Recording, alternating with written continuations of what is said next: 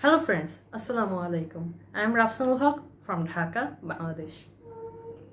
Last year, due to the COVID-19 pandemic, my school was closed and for this reason, my English practice has stopped. I also had some problems with English grammar. My father found a course which was taken by Sutanu ma'am. I got enrolled in that course a few days later. After few weeks, all of my problems in English has gone.